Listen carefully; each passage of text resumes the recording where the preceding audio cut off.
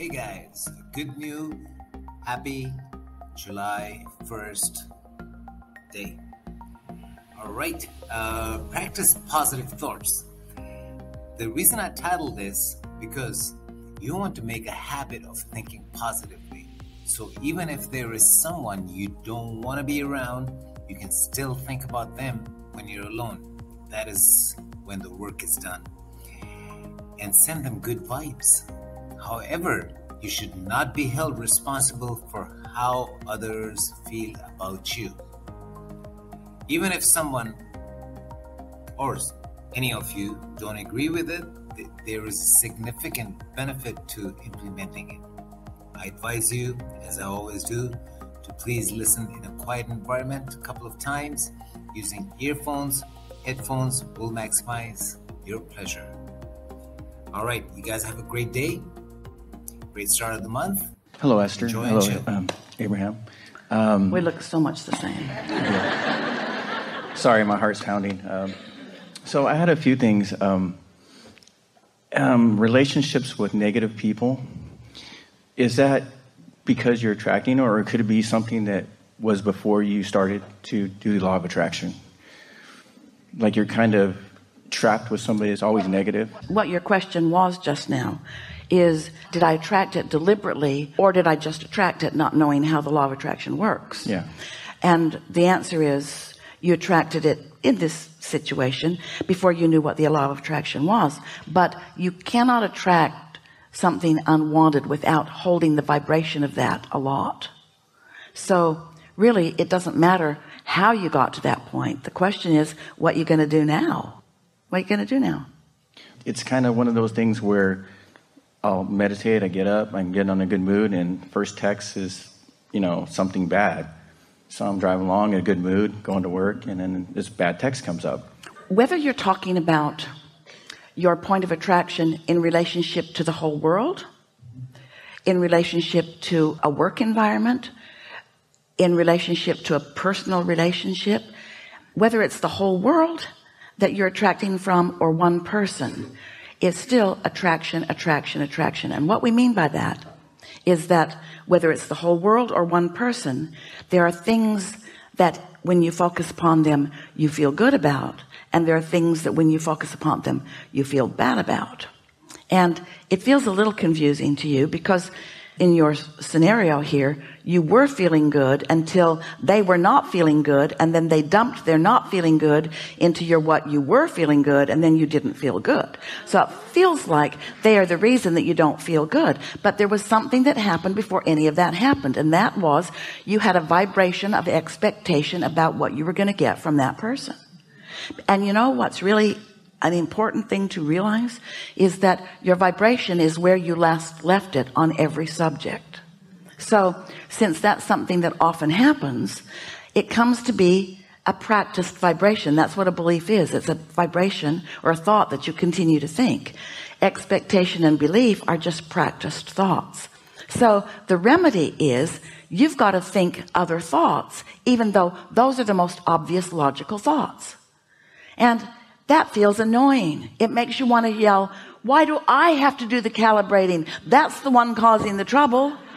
Why do I have to do all of the calibrating? And we say, because you are the attractor to you.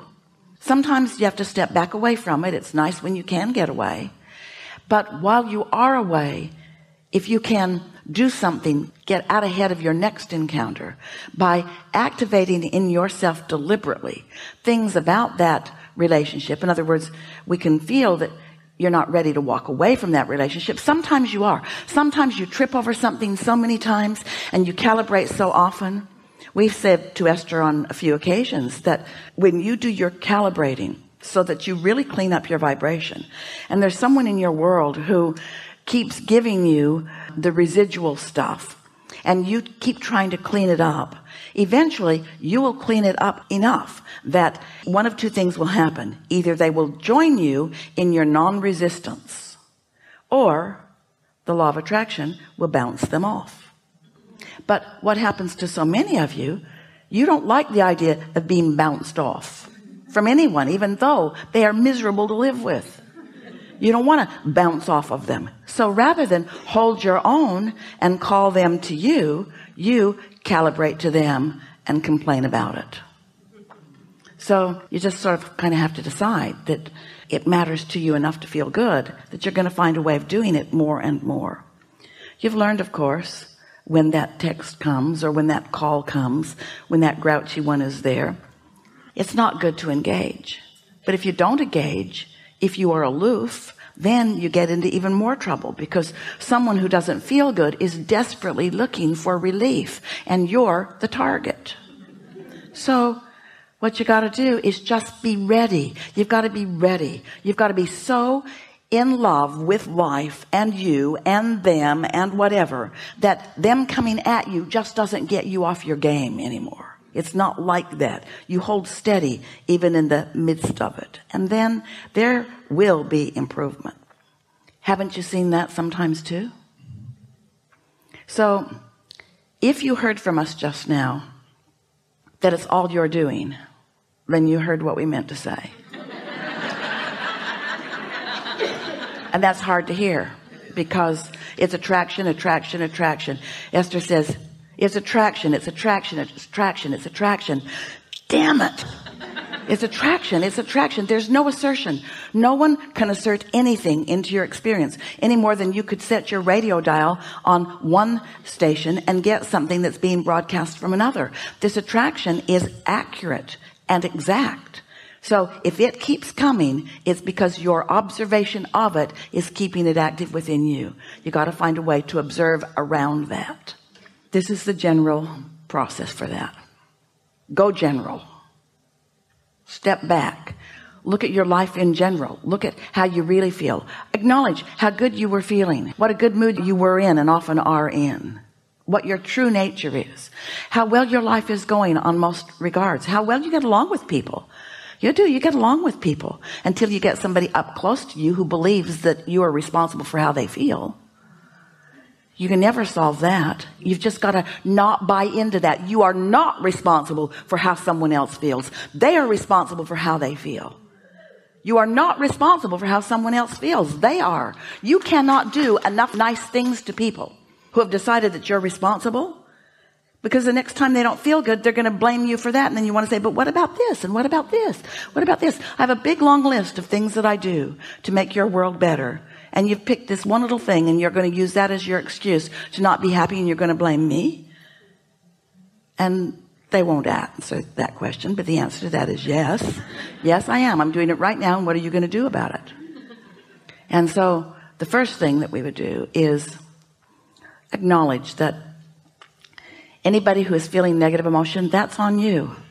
That's on you and it's not your nature you know why? Oh we are so happy to have this conversation with you. You know why it is not your usual nature to accept your own point of attraction and assign it to yourself and assign someone else's point of attraction? Here's the primary thing that humans do that makes that not come naturally to you at first. This is going to be an interesting way of approaching this because you are harmonizers. You're natural harmonizers. Well now that sounds like your natural calibrators. It means the same thing. You are natural harmonizers. You're seeking harmony. You're seeking balance all the time. It's why you're able to walk under more difficult conditions. It's why the first little thing doesn't just cause you to fall right down. You are stabilizers. You do have a sort of gyroscope not only in your physiology but in your psychology. You are natural balancers. But what that means to some of you is that because you want so much for the people around you or the person around you to get you to understand you that you try hard to get them to do that. So if they show a little sign of unhappiness you try to harmonize or compensate for that well that's not a good idea because what it does it teaches them that you will do all of the adjustment and it leaves them incapable of managing their own experience in the world. If you do that with your children people call it coddling them or spoiling them or giving them everything they want. If you do that with your children they're not prepared for a world that will not do that for them you want them to know about the law of attraction. You want them to know that it's what they're offering vibrationally that is bringing back to them whatever they're getting. And there's nothing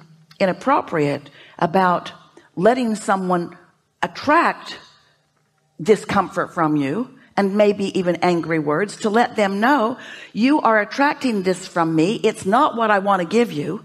And I'm doing my best to calibrate in ways so that it's not what I give you. But you make me feel this way because you feel so strongly this way about me. Attraction is this two-way street all the time isn't it? Did you hear us earlier when we were talking about your inner being and how there's no resistance and so that is a powerful attraction? When you join forces with your inner being because you've practiced loving and you've practiced looking for positive aspects and you've tuned yourself to the best of the best of the best of this person because that's where your inner being is tuned then what happens is you can stand in that tuning and not be drawn not let the other draw from you something that doesn't feel good to you when it's drawn from you. Did that make sense to you? Let us put to you this way. Whatever the dominant vibration in the room is will dominate. That's what mob rule is. Whatever is dominant will dominate. And so if you walk into an environment maybe it's just mob of one person who's all wrapped up in everything that's gone wrong and wanting to blame someone and you're there so it's you.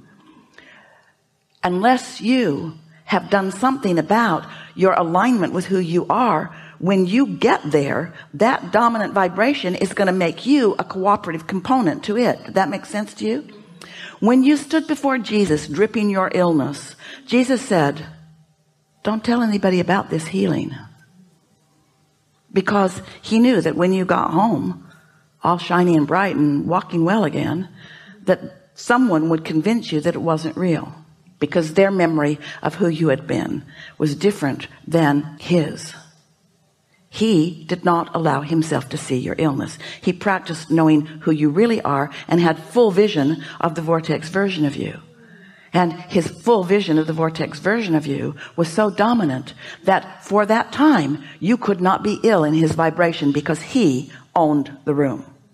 So what we're saying to you is you can practice positive thoughts about anybody especially those who you care about that you spend a lot of time with until you own the room.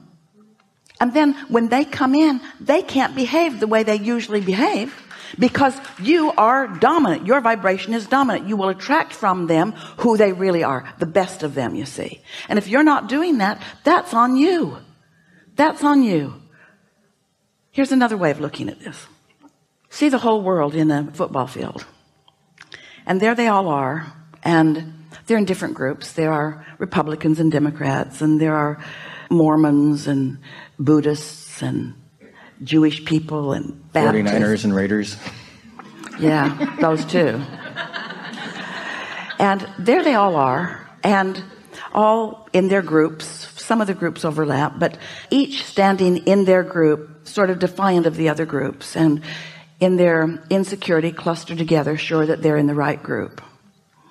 And as we see them we see only two groups those who are in this moment and that's a key phrase in this moment under the influence of source or those who are in this moment under the influence of something else.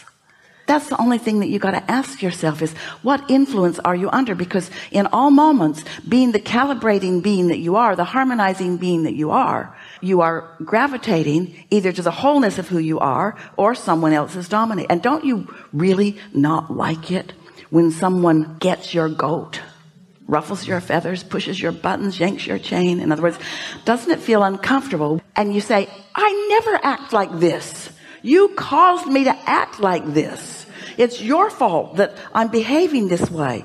And we say well we get that and it's a sort of fair thing to say because the circumstance may have caught you off guard. But if you're out ahead of it if you are tuned to who you really are you regain your balance pretty quickly